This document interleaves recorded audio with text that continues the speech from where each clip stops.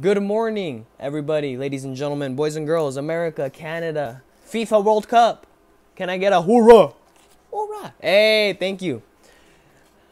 I know, I am just as excited as you guys are. Today is going to be the start of my YouTube channel. This is the first video, so I'm really glad you guys are here today. And so, YouTube, what it means to me, what I'm going to be doing on this channel is I'm going to be discovering myself. So I'm going to be tossing in a lot of things, a lot of, you know, comedy skits, acting, maybe some poetry, who knows. I'm going to be vlogging, talk about my personal experience. I want to hear yours too. You know where to comment down below. Oh, I got to do that thing, you know that, you know, YouTube and every Okay, you guys get it. Right.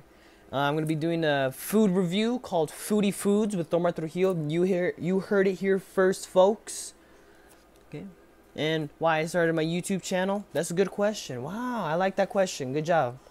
Um, started my YouTube channel because pretty much I want to change the world, and this is how I'm gonna do it. It's gonna happen step by step. I have it all planned out in here, and how I'm gonna tell you, you just gotta watch my channel to find out.